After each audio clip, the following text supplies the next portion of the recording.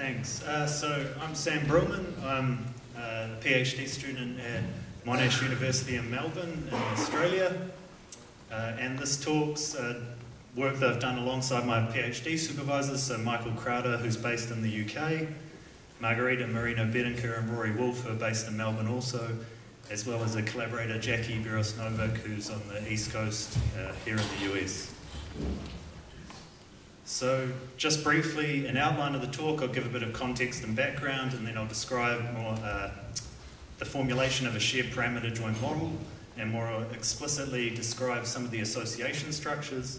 I'll then uh, describe the software implement implementation I've been working on for these models, and provide a few slides showing the functionality uh, using an example application. So some context. We're going to be in the setting of biostatistics, and suppose we observe repeated measurements of some clinical biomarker on a group of patients.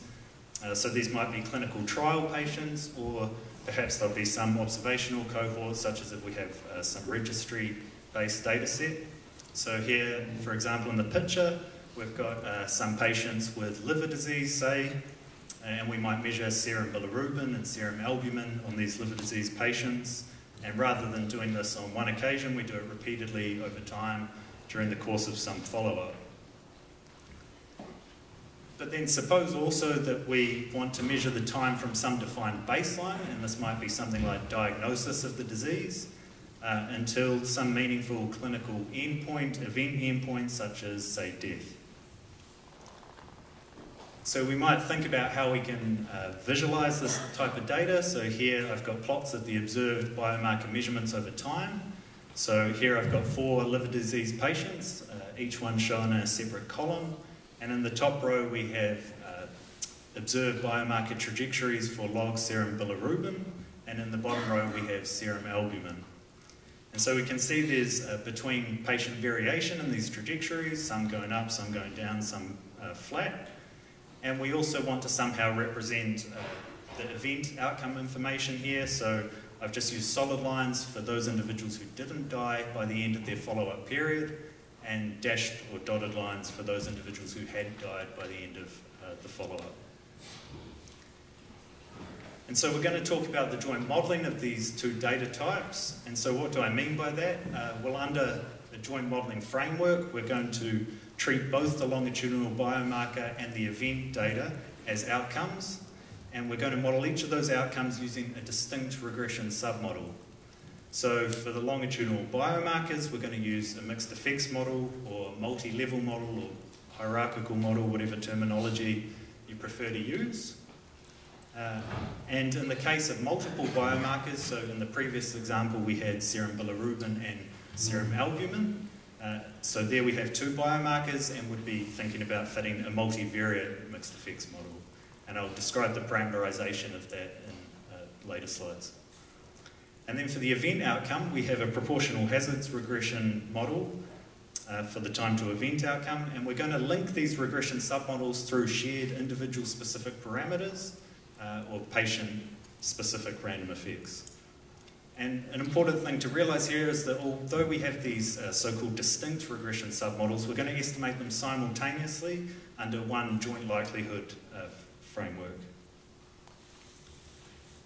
So why might we use these approaches? So there's a few different reasons, but some of the more obvious ones are we want to understand something about uh, the relationship between the longitudinal outcome or some function of that longitudinal outcome and the risk of the event. So this is uh, epidemiological type questions related to the potential for etiological associations or causal associations. But there might be other reasons. So one uh, area in which these joint models have been shown to be useful is for dynamic uh, clinical risk prediction. Uh, so we could fit this joint model and we could use some individuals' biomarker measurements to uh, predict their risk of the event and then as they come into the clinic at some later time and have uh, new biomarker measurements observed, we can use those new measurements to kind of dynamically update or time update uh, their estimates of the uh, event risk, their predictions of the event risk. So, and it's probably worth noting uh, here that although all the um, developments in this area have been in the biostatistical literature, there's potentially uh, unrealised potential for these models to be used in other disciplines, I guess. So the formulation of the shared parameter joint model looks something like this. So as I mentioned, we've got these two submodels, and at the top we have the longitudinal submodel. So here, y is going to be some observed measurements on our mth uh, biomarker, and it's going to be for individual i at some time point j. And what we're going to do is model that in continuous time, where we assume uh, y follows some distribution in the exponential family with some mean mu, and we're going to link mu to eta through some link function g. So here we have a generalized linear mixed model. And we've indexed this link function g with a subscript m to show that uh, the family and the link function that we use can differ across the different biomarkers if, if we wish for that to be the case. So then as part of our linear predictor, we have some uh, observed covariates or data, so vectors here x and z. And then we have some population level parameters uh, beta and some patient-specific parameters b. And what we can do is collect uh, the patient-specific parameters across the different uh, biomarker submodels and collect them into this single vector, so this uh, combined vector of patient-specific parameters bi, and we assume that follows some shared multivariate normal distribution uh, with unstructured variance covariance matrix here sigma. So what sigma does is it allows us to capture some of the dependence between the different uh, clinical biomarkers that we might observe. So that's our longitudinal submodel. We then have our event submodel. So here, proportional hazards regression model. So HIT here is the hazard of the event for individual i at time t. And it's equal to some baseline hazard H naught t. And then inside the linear predictor here, we have uh, some covariate data again, uh, so this vector W and its associated population level parameters gamma. So gamma here is going to be log hazard ratios.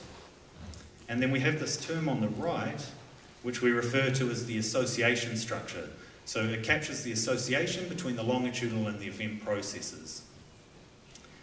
So we can parameterize that in different ways, and the example I've got here we refer to as a current value association structure because what we've done here is assumed an association between the hazard of the event, or the log hazard of the event, and the current expected value uh, of each of the biomarkers. So all of these things are calculated at time t.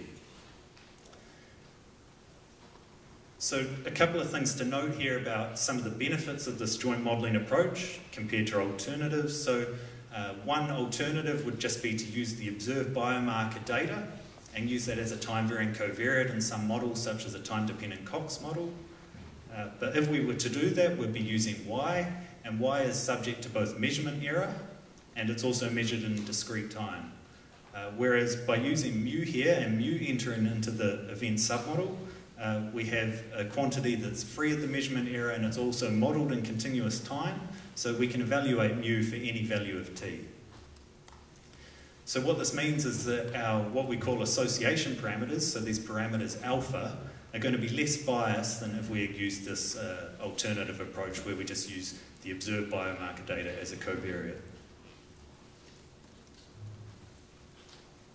Okay, so, so that's one formulation based on this current value association structure, but we can generalize that. Uh, so a more general form for the event submodel looks something like this, where we now have this summation over Q, uh, and we have some uh, functions that are currently undefined, f, uh, which is subscripted with m and q.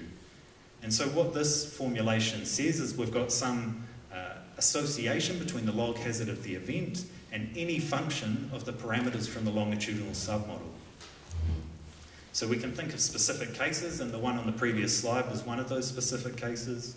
Uh, but some of the other uh, more common ones might be these. So uh, eta, where we have the linear predictor evaluated at time t. Uh, alternatively, we might think that the hazard of the event at time t is related to the rate of change in the biomarker at time t. Or this third one, uh, the hazard of the event is related to uh, the integral, either under the uh, linear predictor or the biomarker trajectory between baseline and time t. So this might make sense if we had uh, say, dose concentration as our biomarker, and we wanted to calculate uh, the cumulative effects. Uh, and this last one, we might assume that the hazard of the event at time t is related to some earlier value of the biomarker, so some lagged value, where t minus u is some time for a lag time u. So what's been done in the way of uh, software for these joint models? Uh, so there's been a whole bunch of methods development, but not all of it gets translated into user-friendly software. So there's a, uh, pretty well established software for one longitudinal outcome. So there's packages in Stata, R, and SAS now. But it's only been in the last, say, year or so that uh, any uh, anything's been released that can handle multiple longitudinal outcomes or multiple biomarkers. And so there's a few packages in R that have come out recently, and the one I'm going to highlight in this talk is rstanarm, obviously. Uh, so as of the most recent version of rstanarm, so 2.17 that's just been released on CRAN a few weeks ago, um, there's joint modelling functionality included. So most of you are probably aware of what rstanarm is, but for those of you that aren't, uh, rstanarm is an R package built on top of the R interface for STAN, so it allows uh, the user to fit models or some regression models using standard R formula syntax and data frames rather than having to write any STAN code themselves or, or pass the data. So in terms of joint modelling, in this most recent version of rstanarm, we have uh, a bunch of features, so multiple longitudinal outcomes, multi-level clustering, so patients clustered within clinics, for example, uh, a variety of families, link functions, association structures, uh, baseline hazards, and so on. So I'll just spend uh, the last few minutes talking through an example application that will just show some of the functionality uh, or a few of the functions that we can use in the rstanarm package. So I'm going to use a widely known uh, data set in the uh, biostats literature. So this is freely available, the PBC data. So it contains uh, 312 liver disease patients who participated in a trial a number of years ago. And we're not going to be concerned with uh, looking at treatment effects here. Instead, we're just going to look at the associations between uh, bilirubin and albumin, so two biomarkers that were measured on those patients over time. And we're going to look at their association with mortality. So we'll model each of the biomarkers using just a linear mixed model to keep things simple with a random intercept and a random linear slope. Uh, and then the event submodel will just have gender as a baseline covariate and we'll assume this current value association structure that I showed on the earlier slides. So the code for fitting the model using rstanarm looks something like this. So we have the stan underscore jm uh, function and we have to pass in arguments for the formulas for each of the submodels. So here, because we have two biomarkers, the formula for the longitudinal submodel uh, takes the form of a list, a list of formulas, and we have a formula for the event submodel. We then have uh, arguments for the data frames for each of those submodels, and we have to tell uh, rstanarm or tell stan underscore jm what the name of the time variable is in the longitudinal uh, submodel. We then optionally have these last two arguments, so for this we're using the defaults, so we could have left them out, but we specify the association structure here and the baseline hazard, uh, just to be explicit. So then the R package goes away and fits the model using stan, and we get back the fitted model object, and we've got a bunch of uh, generic methods we can call on that fitted model object.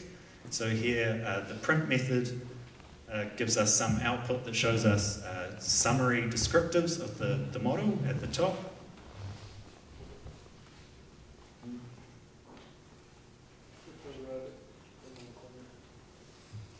Okay, and then uh, some estimated parameters in each of the blocks below.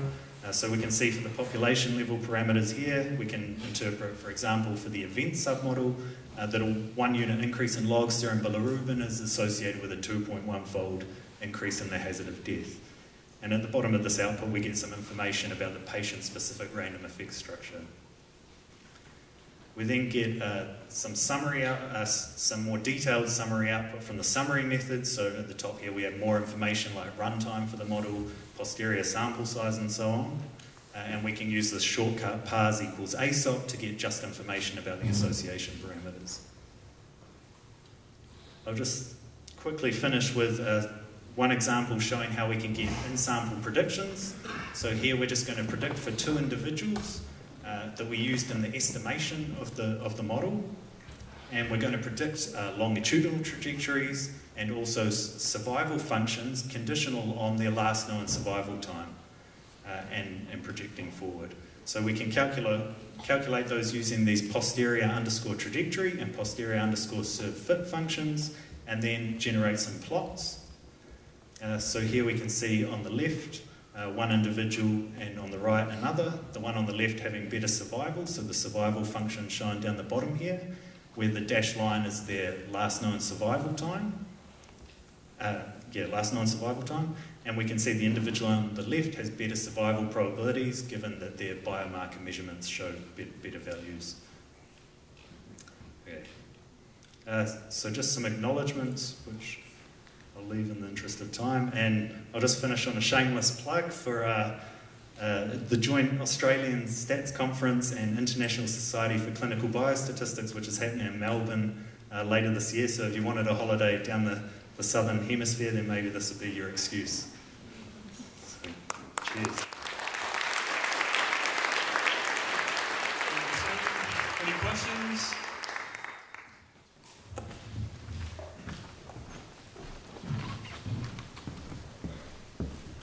questions. Uh, yeah, we, are also looking at joint models in the work that I mentioned before. And a couple of things have come up. Uh, one of which is that uh, the uh, proportional hazards assumption isn't always such a good thing. So we're wondering if, uh, if, if, things other than proportional hazards work in, in, in, in stand arm easily. And the other question is, um, uh, traditional joint modeling packages uh, do not allow do, do not allow the uh, I mean you've got the, the, time to event model and you've got the, the model for, for the the, uh, the biomarkers basically the continuous biomarkers. And in a lot of the things we're looking at uh, it makes sense for the continuous biomarkers to continue after the event. So obviously the event can be death. Uh, so the question is uh, is this flexible enough so that the, uh, the continuous part of the, the continuous biomarkers models will continue after the event has occurred. Yeah, okay, so on the first one, uh, so there has been some work previously looking at accelerated failure time models rather than proportional hazards. Uh, so I know Demetrios Rizopoulos discusses some of that for, especially for his earlier package, JM, uh, or at least in his book. So it hasn't really taken off. Um, I guess partly maybe some of the limitations around parameterizations for the accelerated failure time models as well. Uh, although my supervisor's Michael Crowther in the UK, and he's also been working on uh, more flexible specifications of accelerated failure time. So maybe in the future there'll be a method for combining, you know, sort of those two things: flexible parametric accelerated failure time models and and putting them into the joint modelling framework. Um, but at the moment, it, yeah, so it doesn't have to be proportional hazards, but there hasn't been that much work looking at the alternatives, I guess. I guess proportional hazards has been the norm. Um, in terms of the other one, so the other was... Whether the, the, the biomarker processes can continue after the event. Ah, yeah, okay. So there's also been some work looking at uh, recurrent events, fitting recurrent events uh, into this kind of framework whether it be recurrent and to an event under the same model, or whether it just be recurrent events alone with the, with the continuous biomarker process. Um, so I guess that's one area. So if the event is a recurrent event, you could cope with it. Uh, well, let, let, me mention quickly the sort of event we have in mind. There's an event called uh, in, in, HD Huntington's disease. Uh, we know we can get the disease before they get it because it, it's uh, genetic tests are available. but but there still is a diagnosis of the disease, a clinical diagnosis that occurs, and that, that's made by a physician, independent of whether, of, of what's known about the genetics of, of, of, the patient. That, that, that diagnosis can be predicted with a lot of other variables, and those variables will continue to occur after, after diagnosis. So, uh, in, in a sense, we have that's a particular example, but I'm sure there are a lot of cases where an event, unlike death or something, it, it, the event occurs, occurs only once, but, but but it's only part of, of, of, of, of, of the. Yeah, okay. So there has been some work, I think, not a lot, but looking at multi-state models in this sort of, under this joint modelling framework as well. I don't know much about it and none of it's implemented in rstanarm. Um, but yeah, I guess we could talk about maybe that later on, what the options are. Thank you, interesting one. Thank you very much, Sam. Um, We'll break